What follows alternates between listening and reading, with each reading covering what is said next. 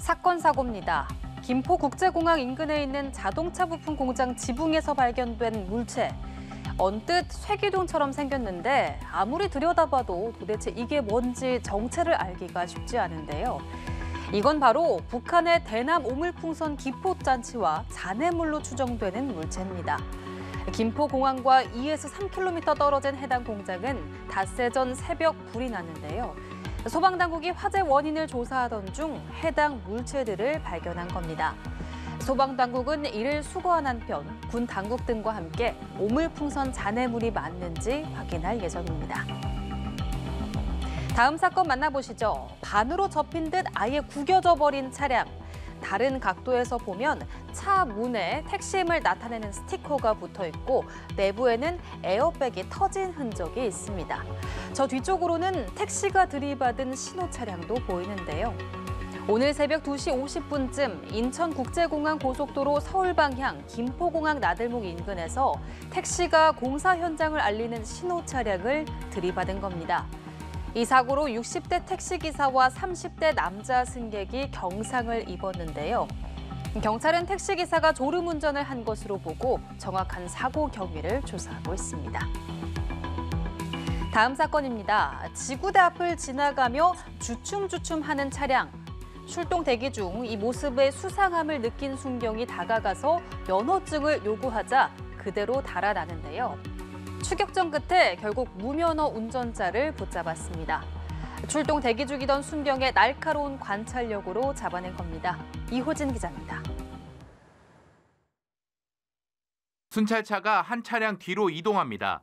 경찰관이 내려 운전자 검문을 실시하는데 운전자는 그대로 줄행랑.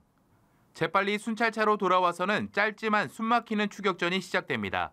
신호도 위반하고 1차로에서 4차로까지 내달리는 차량.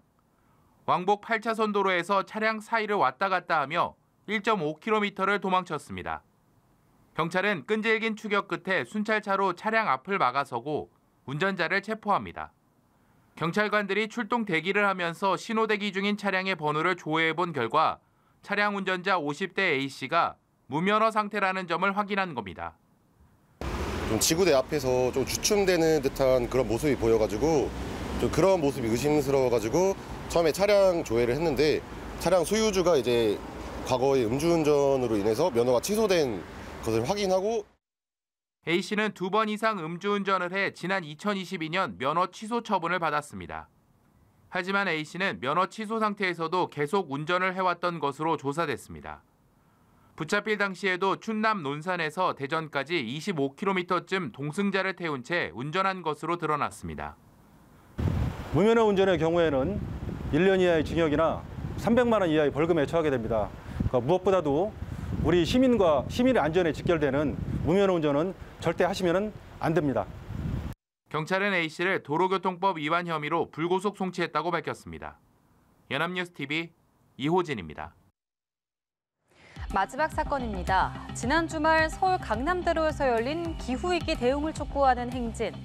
많은 참석자들 사이 경찰 여러 명이 두 참석자를 빙 둘러싸고 끌어안고 있습니다. 바로 탈의 시위를 벌인 활동가들을 가리기 위해서인데요.